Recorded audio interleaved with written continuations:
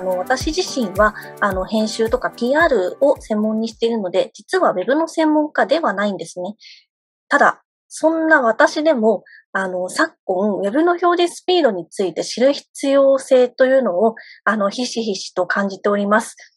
まあ、少しでも Web に関わる仕事をしている人であれば、表示スピードについてのリテラシーを高めて、高めなければいけない時代なのかなと感じてお,、えー、おります。あのまあ、なぜ、えーと、スピードか、えーと、スピード改善に取り組むべきなのかみたいなところから順番、順を追ってお話しできればと思ってます。まあ、こういう質問すると、まあ、おそらく100人いたら99人ぐらいは、まあ、早い方がいいですよね、みたいな。まあ、基本的には、あの、表示早い方がいいっていうのは、なんとなく、まあ、今日のこのセミナーのテーマもありますし、なんとなく皆さんご理解いただいてるんじゃないかなと思います。で、もう一問質問させていただきます。これ聞くと、100人中、うん、まあそうは言ってもな、みたいな感じで、まあだいぶ100人中99人見たところからだいぶ減っちゃうと思うんですよね。で、ちょっとこれ、えっ、と、ビジネス施策って何ですかっていうと、まあこういうことだと思うんですよね。どっちが大事ですかっていう、まあこういう質問になると思います。サイトの表示改善っていうのが、まあ、広告収益の増加であったりとか、回遊性の向上であったりとか、検索流入を増加させるっていうところに、非常に、あの、パワーが効いてくるっていうところになっています。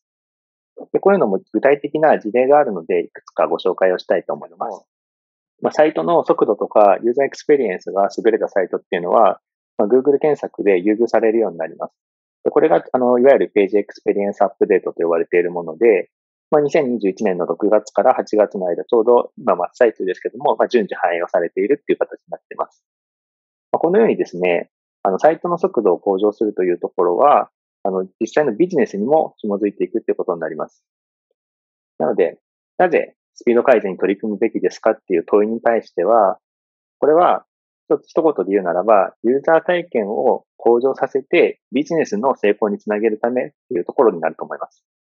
まあ、スピード改善を、まあ、開発者の自己満足にしない。なんか0.1秒速くなったってエンジニアが喜んでるけど、何ですかそれみたいにしないと。あとこのスピードっていうのは非常にわかりやすい指標ではあるので、職種とか、そういったあの、組織内での共通言語として、えっ、と、取り扱うことができるっていうところで、まあ、非常に、あの、良い指標というか、スピードが大事になってくるかなと思っております。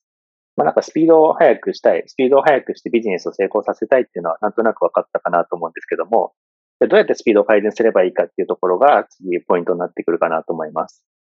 あの、実際にやるときにどういう方法が効率的かっていうと、まあ、スピードが遅くなっているボトルネックの部分を明らかにして、そのボトルネックに対して、まあ、改善施策を実行、実施していくってことが大切になってくるかなと思います。で、まあ、スピードカーブっていうのは今日ご紹介するんですけども、まあ、こういった課題を解決していくツールになるかなと思います。なので、まあ、計測方法がわからないとか、手間かけられないみたいな時に、まあ、スピードカーブ入れとけば、とりあえず、えっ、ー、と、計測ができるっていう、まあ、こういったツールになってくるかなと思います。まず最初にですね、ちょっと URL の設定とか、まあ、各種メトリックスがどんな感じで見れますかとか、まあ、そういったところを見ていこうかなと思います。これがスピードカーブの画面になっています。で、この左のカラムのメニューのところにセッティングスっていうものがあるので、セッティングスを押すと、まあ、こんな感じで、えっと、テスト計測するサイトがバーって出てきます。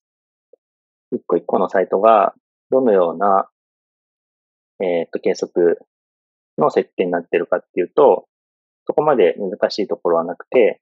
まあ、URL、計測した URL を入れますと。で、あの、どういうブラウザから計測しますか？例えばこれだと iPhone X から計測しますっていうふうになってます。それから、リージョンも選べるので、まあ、日本からアクセス来た時を見るのか、これオーストラリアとか、あの、ドイツとかありますけど、まあ、基本的に日本のサイトだと、日本からアクセスしてくる人が多いと思うので、まあ、日本から計測するのがいいと思います。あとはこう何時に計測しますかみたいな。で、これ保存と押すと、またも勝手に計測が始まるって感じになってます。なので、まあ、特別難しいところはなくて、URL 入れて、ポチポチってやって終わりって感じになってくるかなと思います。各種メトリックスの可視化っていうところなんですけど、この左カラムのところからサイトって見ていただくと、はい、こんな感じですね。まあ、いろんな指標が見れるんですね。この、えっ、と、レンダー、この描画がいつ始まりましたとか、一番大きいコンテンツがどれだけかかりましたとか、まあそういったの、あと、レイアウトがちゃんと完成するのどれだけですかとか、あとこの Core Web Vitals の値であるとか、こういった指標が事細かに結構取れるんですね。しかも、ちょっと画面見ていてわかるかなと思うんですけど、結構かっこよく出るんですよね。なんかすごいシステマティックに色気のない感じっていうよりかは、結構かっこよく出るっていうのも、もうこれ触っててテンションが上がるポイントかなと思います。まあ、ざっと URL 入れるだけで、こんな感じでスコアが見れるって形になってます。アラート設定何かっていうと、まあ、サイトがある一つで遅くなりましたとか今っていうことが、まあ、起こり得ると思うんですけど、まあ、そうなった時に気づけるようにするっていうところになってます。これもセッティングスからアラートっていうところ入れて、ここになんかメールアドレス入れたりとか、まあ、Webhook のフォーマットがあるので、例えば Slack とか、え、チャットワークとかそういったツールとも連携ができるかなと思います。まあ、サイトの計測対象の設定なんですけども、まあ、計測の URL とか、まあ、時間とか端末とかを入力するだけです。で、ここの、さっきも申し上げましたけども、ラベルっていうのを入れると、同じラベル同士のものが比較できるって形になってます。であとちょっと、先ほどは触れなかったんですけども、まあ、高度な計測みたいなこともできます。まあ、通常通り、あの、URL を入れて設定すると、初めてそのページを見たときに、どういうスコアでしたかっていうのは計測できるんですね。例えば、トップページからなんかチケットのページに遷移したときのチケットのページを計測したいですとか、もしくはですね、なんかログインの、えー、と状態を、で測りたいみたいな。まあなんかそういう細かい高度な計測をしたいっていうニーズがあると思うんですけど、そういうのは、えっ、ー、と、このスクリプトみたいなのを置くと、実現可能ですというところになっています。なので、まあ、単純に測って終わりっていうこともできますし、なんかもっとこういうユースケースの時の速度を知りたいとか、深掘りしたいみたいな時は、まあ、こういった設定もできるって感じになってます。次もまた順番に見ていこうかなと思います。えっと、さっきですね、見た数字っていうのは、このサイト単位の測定してるっていう感じになってます。スピードカーブのいいところっていうのは、このベンチマーク機能だと僕は思っていて、ベンチマークのこのページから見ると、あの、さっきのラベルが同じものが比較できるので、こんな感じでですね、どのように時間ごとに遷移してるかとか、リクエスト数、そのサイトアクセスしたときに、なんか画像のサイズファイルとか、JavaScript のファイルとか、スタイルのファイルとか、いろいろ、あの、サブリソースを取得すると思うんですけども、そのサブリソースの数とかをこうやって比較したりします。えっ、と、ベンチマーク機能これはかなりネット使い勝手がいいところでなるかなと思っています。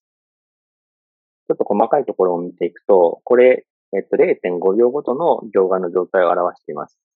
で、まあ、最初は0.5秒ぐらいでもいいんですけど、やっぱり、だんだん速度とか極めてくると、0.1秒の争いみたいになってくるので、まあ、そうなった時は、僕は0.1秒単位にして、えっ、と、競合のサイト0.1秒上回りましたとか、なんか今ちょっと負けてますみたいな、こういうことをやったりします。まあ、こんな感じでですね、こ細かに取れるって感じになってます。まあ、こういった速度を計測するツールっていうのは、まあ、スピードカーブに限らず、いろいろ提供されています。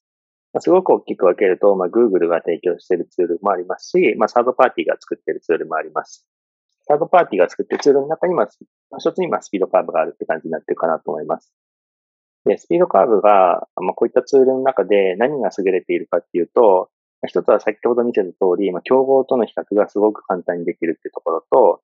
また時系列の計測ができるってことですね。一回設定を入れてしまえば、毎日何時に計測しますみたいなのを、まあ、繰り返し繰り返し人手をかけずに行うことができるっていうところになります。まあ、これもよくあるところなんですが、まあ、サイト、サイトを設立した当初はすごく早かったんですけど、なんか気づいたらすごく遅くなっていたっていうことがあると思います。まあなんかこれ追加しましょうとか、この機能入れましょうとか、なんかこういうコンテンツの見せ方したいですとか、いろいろやってると、なんか気づいたら遅くなってる。これよくある。あとはですね、なんかアクセスがすごく集中するときってあると思うんですよね。まあそのサイトのトラフィック特性にもよると思うんですけど、EC のサイトだと多分セールやってるとすごく遅くなるとか、だからなんかメディア系のサイトだとすごい注目されるコンテンツがあったときに、すごく遅くなってしまうとか、まあそういったところまで可視化できるっていうところは強みかなと思います。まあ競合、自分たちは速度を維持してたつもりだったんだけど、実は競合がその間に速くなっていましたと。で結果、なんか検索流入が取りづらかったりとか、まあ、ユーザー体験が競合に対して負けているって、こういう状態になっちゃう時があるので、まあ、なので、一回測って終わりっていうよりかは、まあ、時系列の検索が重要かなと思っております。はい。というところで、えっと、ちょっと一問質問をいただいているので、そ、そこをすごくえっと、簡単にお答えしようかなと思います。えっと、先ほど計測した速度なんですけども、これは、えっと、自分のネット環境に依存しますよねっていうところがありますが、実はこれは、えっと、スピードカーブにおいては、えっと、答えはノー、ノーになってます。えっと、スピードカーブの、えっと、提供している環境から計測した値になっているので、例えば自分の家のなんか Wi-Fi がすごい弱いから遅い速度が出ちゃったとか、まあそういうことは実はなくて安定的な環境で計測ができるような仕組みになっております。なので、まあそういった自分のかん、えっ、ー、と、手元のパソコンから計測を毎回毎回繰り返すよりも、えっ、と、同じような環境で安定的に計測ができるというところも、まあ一つ強みにはなるかなと思います。スピードカーブで計測できる指標は100以上ありますと。100個いきなり数字見せられて、どれ見ますかってなった時に、まあ、普通に考えたら、いや、わかんないよってなると思うんですよね。で、まあ、使い方としては、このライトハウスのパフォーマンススコアっていうので、全体感を把握しますと。まあ、なんか、例えがあってるかわかんないですけど、まあ、ライトハウスのパフォーマンススコアは、まあ、体重計乗った時の体重だと思ってください。なんとなく軽いのか重いのかぐらいがわかると。スピードカーブで計測できる他の指標っていうのは、なんか体の水分量とか、なんか骨の密度とかなんかいろいろ体組積で測れるじゃないですか。多分ああいうのがいっぱい測れるって思っていただければいいかなと思います。はい。で、えっと、ライトハウスのパフォーマンススコアなんですけども、これは100点満点で表されるものになっています。すごくわかりやすいです。あなたのサイト何点、このサイト何点、100点満点、非常にわかりやすい指標になっています。で、90点以上だとパフォーマンス優れたサイトっていうようになっています。なので結構赤点が90点って感じになると、ね、学生の時だったら結構ぶっ倒れそうですけども、まあ、結構厳しい水準かなと思っております。で、まあ PC もスマホもどっちも90点以上っていうような指標になってるんですけど、まあ実際運用していく上では、パソコンは90点頑張れば取れるかなっていうようなことが多いんですけど、スマホは結構厳しいんですね。っていうのも、スマホで計測するときっていうのは、なんか、ネットワークを遅い状態にシミュレーションした状態で測られてしまうので、まあ、かなり実は厳しかったりします。90点は。なので、まあざ、ざっとえっ、と、今の自分、今のサイトよりも良くなった、過去よりも良くなったみたいな感じで、まあ、時系列で見ていくっていうところも大事かなと思っております。ここでですね、まあ、今日の本題というか、まあ、皆さんもご存知のところあると思うんですけども、コアウェブバイタルズの話をちょっとしたいなと思っていて、まあ、先ほどこのお見せした3つの指標の中の3つは、実はコアウェブバイタルズって呼ばれる指標なんですね。で、この指標が何かっていうと、まあ、Google が、えっと、2020年に提唱した新しめの指標になっています。結構 Web の歴史、えっ、ー、と、ここ 10, 10, 年、20年とか長いと思うんですけど、その中でもかなり新しめの最新の、えっ、ー、と、このユーザー体験とかを表す指標になっています。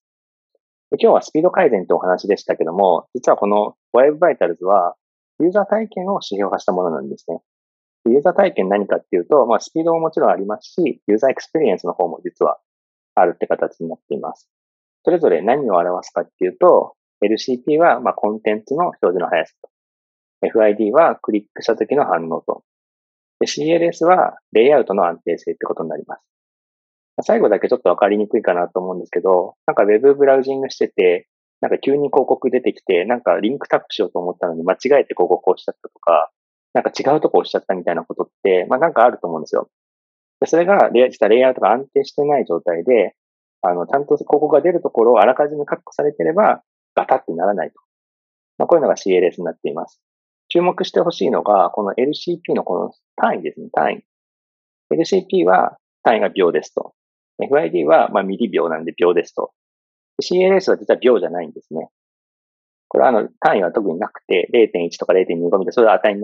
なるんですけど、まあ、スピードを表すこの2指標と、まあ、ユーザーエクスペリエンスを表す CLS っていうものを3つ合わせたものが Core Web Vitals っていう指標になっています。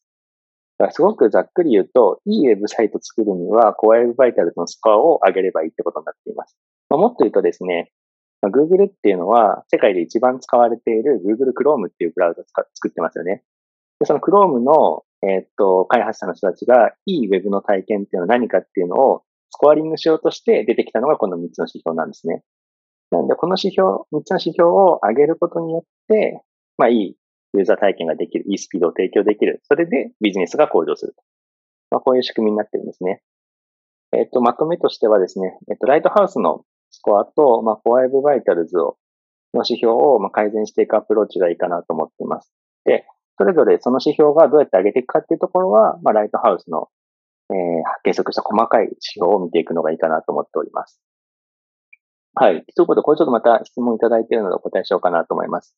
CLS のズレはスポーツや芸能ニュースで、えっ、と、よく出ますね。あれはダメなんでしょうかというところですけども、はい。あの、ダメっていうよりかは、えっ、と、指標内に収まっていることが望ましいっていう言い方になるかなと思います。